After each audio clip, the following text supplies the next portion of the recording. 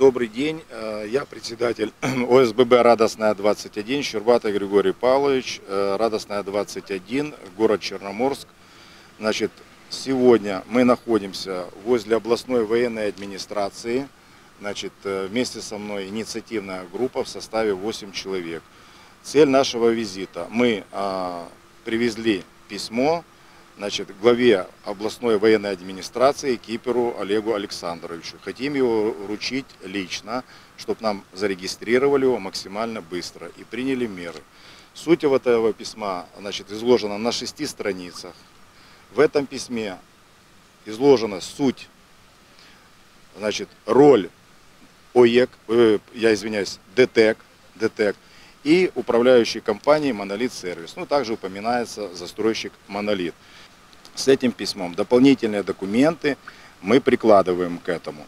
Значит, первый вопрос – это получение прямого договора с ДТЭКом на наше ОСМД. Нам препятствует по беспределу, цинично, нагло управляющая компания «Монолит Сервис». Это самый главный вопрос и основной. В результате всех, всех этих событий, которые происходят на протяжении 8 месяцев, выяснилось, что трансформаторные подстанции, самовол, то есть незаконное строение. Возникает вопрос, как на незаконное строение ДТЭК подает электроэнергию.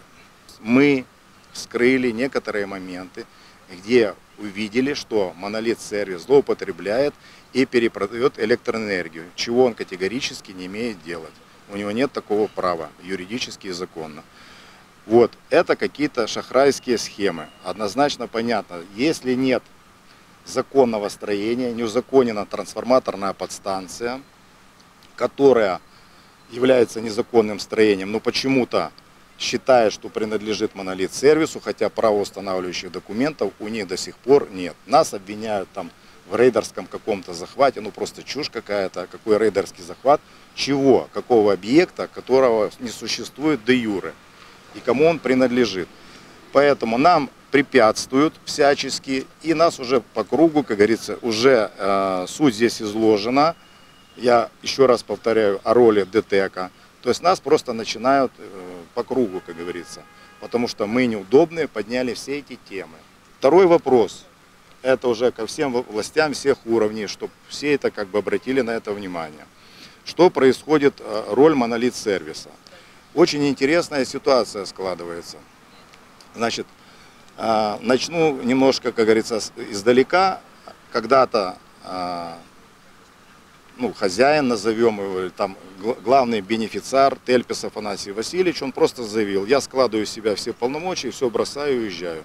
Бросил 4 дома недостроенных. Сейчас точно такая ситуация, то есть управляющая компания, это дочка застройщика Монолита, будовельной фирмы, значит, когда началась война, директор, который числится как директор в реестре, исчез куда-то на 4 месяца.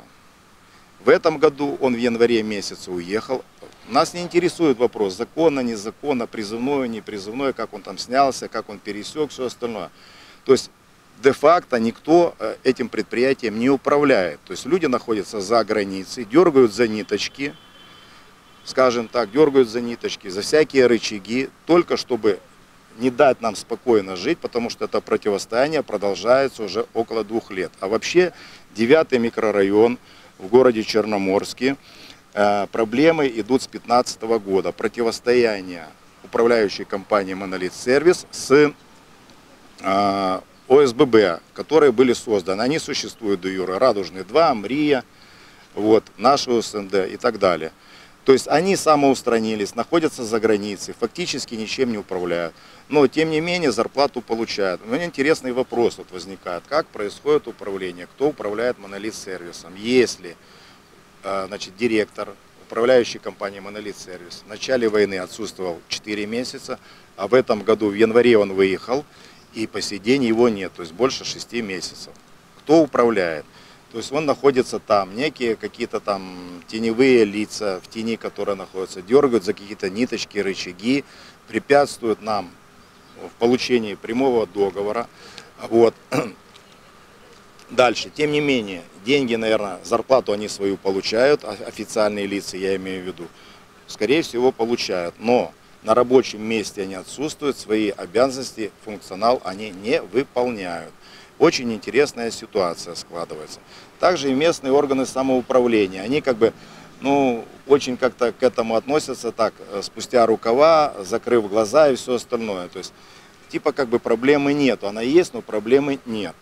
Правоохранительные органы, полиция не, выпо- не выполняют решение суда, которое вынес суд, который запрещает отключать дом трансформаторной подстанции электроэнергии. Полиция даже по суду отказывается выполнять решение суда. Неправда? Очень э, интересная ситуация.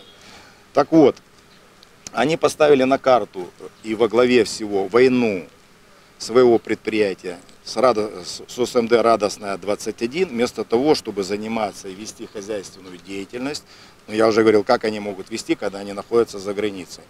Во-первых, они должны жить там у себя в офисе, я считаю, круглосуточно, потому что долгов, задолженность населения а, перед ними население не платит очень огромное, несколько миллионов. Им нужно ходить поквартирно, а, просить, а, упрашивать, договариваться, чтобы люди платили. Более того, у них находится в судах по ОЕКу 2 миллиона, даже больше 2 миллионов. По, за газ у них находится 5,5 миллионов. Значит, второй вопрос очень серьезный.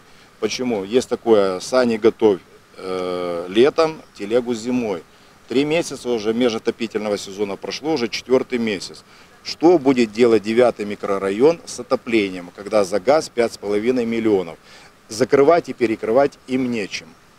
Что мы будем делать? Я на это обращаю внимание властей всего, всех уровней, начиная от э, местных властей Черноморска и, и выше.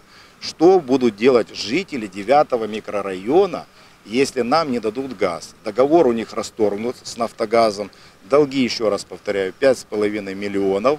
Как мы будем входить в отопительный сезон? Ну и третий вопрос, потому что а, нас обвиняют в том, что мы там рейдерским способом завладели трансформаторной подстанцией. Но я повторяю еще раз, она не является собственностью монолит-сервиса и застройщика. Такого строения нет, юридически никаких подтверждающих документов нет. Мы всего лишь жители Радостная 21 обеспечиваем жизнеобеспечение своего дома и прилегающих и те дома, которые запитаны от этой трансформатора. Мы обеспечиваем, а не они. Значит, все обращения в полицию, и полиция знает, кто отключал свет 26, 27 апреля, 23, 24 мая, и самый большой э, период был 57 часов 22, 24 июня. Вот столько у нас накопилось вопросов. Но самый главный вопрос – это у нас получить прямой договор. Чему они препятствуют, по закону не имеют права. В законе четко прописано, мы здесь указали. Там черным по белому написано и выделено, что они не имеют права препятствовать. Что касается того, что мы должны выполнить, мы все это уже выполнили.